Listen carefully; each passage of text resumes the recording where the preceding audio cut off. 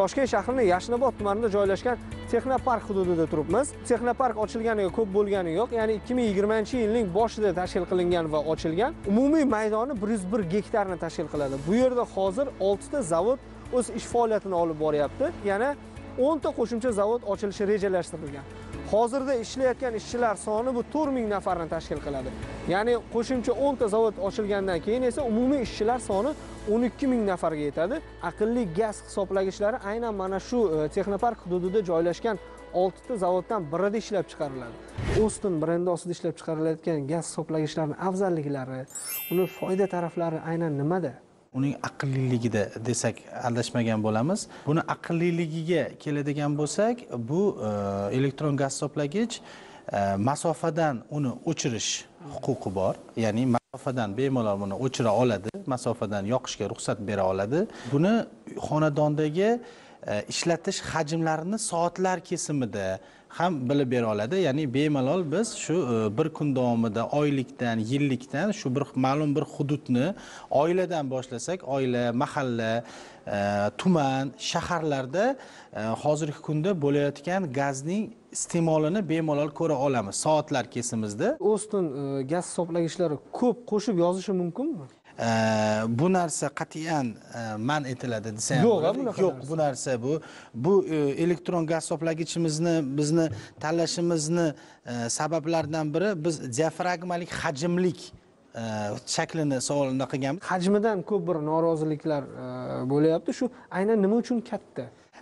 Dunyo bo'ylab o'zi sinf ya'ni birinchi sinfga kiradigan elektron gaz hisoblagichlarni e, hajmlik va rotatsionlik счетчикlar hisoblanadi. Hajmlik bu insonni o'pkasiga o'xshab ya'ni ishlash sharoiti bunga gaz kirganidan so'ngra kirgan gazligini o'tkazadi. Ya'ni gaz buni ichiga kiradi hajmni ichiga kirib hajmdan chiqaradi. Hajmlik bu e, o'lchov birligimiz bu diafragma bo'lganidan so'ngra diafragma bizda kattalik hisoblanadi. Ya'ni bu 100 yil oldin chiqqan счетчикni metodikasi bo'ylab elektron metodikasi bo'ylab faqatgina o'pka orqali e, ishlaydi.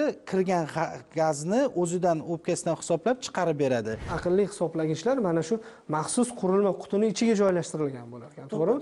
Demak e, mana shu maxsus qutini ham qandaydir afzalliklari bo'lishi kerak. Bo'lmasa bu e, o'rnatilmaydi bu nimadan himoya qiladi? Quyosh nuridan saqlash quyosh nuridan saqlash ochiq holatda turadi.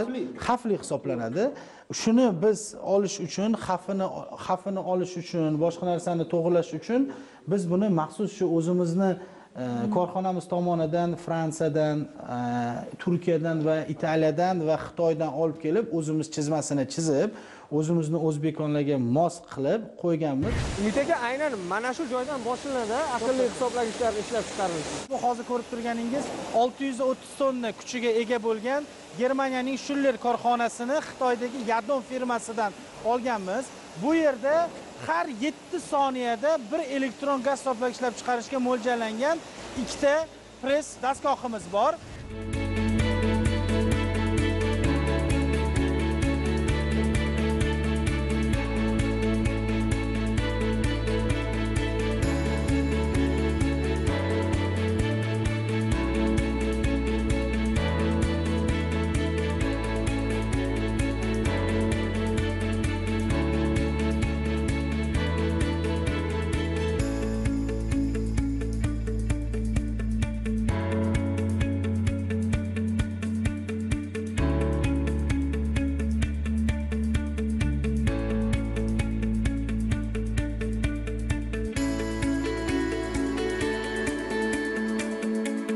Hisoblagichlarimiz maksimal oqimda nominal oqimda va minimal oqimda tekshiriladi.